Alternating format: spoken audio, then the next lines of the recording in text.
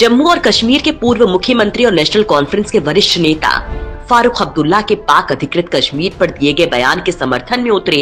Actor Rishi Kapoor ने PoK Pakistan को देने और कश्मीर को भारत का हिस्सा कहकर इस विवाद को सुलझाने की बात कही है।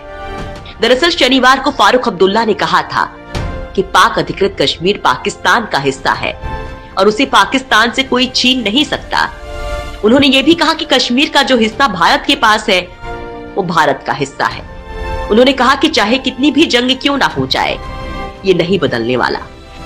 अब्दुल्ला किसी बयान पर ऋषि कपूर ने ट्वीट कर उनका समर्थन किया और अपने ट्वीट में एक भावनात्मक अपील दी। ऋषि ने उनका समर्थन करते हुए लिखा, फारूक अब्दुल्ला जी, सलाम। सर, मैं आपसे पूर्ण रूप से सहमत हूँ। जम्मू कश्मीर हमारा है और पीओके उनका। हमारी समस्या के समाधान का एक ही तरीका है। मैं पैंसठ साल का हो चुका हूँ। और मरने से पहले पाकिस्तान देखना चाहता हूँ। मैं चाहता हूँ कि मेरे बच्चे अपनी जड़ें देखें। बस करवा दीजिए। जय माता दी। ऋषि कपूर की इस इमोशनल अपील पर जहाँ कुछ पाकिस्तानी फैंस ने उनकी इस बात का समर्थन किया तो वहीं कई फैंस ने ऋषि कपूर की शराब पीकर ट्वीट करने की आदत का मज़ाक उड़ाया। आपको बता दें कि ऋषि कपूर की पत्नी नीतू द कपिल शर्मा शो में ऋषि कपूर की शराब पीने की आदत का ज़िक्र कर चुकी है।